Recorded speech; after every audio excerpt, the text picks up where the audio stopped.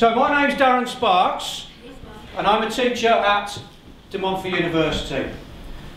Although my name's Darren Sparks, I get called Mr Sparkles, Mr Sparklers and any other thing you can think of to do with Sparks. The kids were fantastic, they really joined in, they were enthusiastic and uh, I think coming to De Montfort they saw a new environment which was quite exciting and, and that put them in the right frame of mind. He can keep his half share and have a chance of getting loads of money in the future.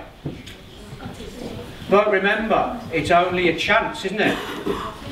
As well as a chance of getting loads of money, there's also a chance of getting nothing. They were very interested in what was going on. They were interested in profits, they were interested in losses, they wanted to know whether the volunteers had made a profit or a loss.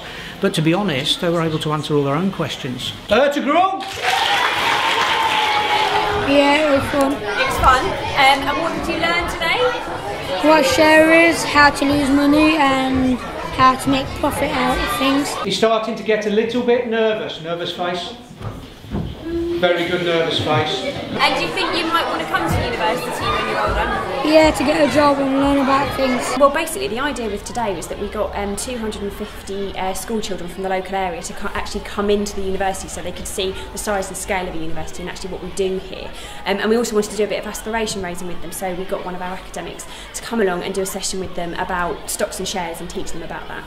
Well, I think it meant a great deal actually. You know, it really demonstrates how unique this initiative actually is. You know, we're giving them an opportunity they haven't had before. Um, we want to involve people in the local community uh, with the university. And this is a fantastic way of engaging a different group of people, uh, really showcasing the strength of the university and the, the very varied things that we're doing. Um, and we're going to be looking at rolling out lots of other projects that are very similar to this, not just targeting school children, but also targeting very different groups um, and giving as many people as possible from the local area the opportunity to come in and engage with colleagues and with students as well you.